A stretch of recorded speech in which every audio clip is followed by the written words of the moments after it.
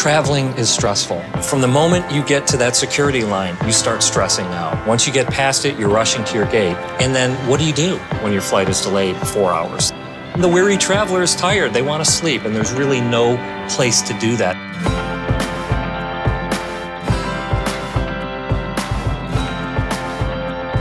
We had an idea to put private suites past security in the airport where now, for the first time, travelers can nap, they can relax, get some work done in private.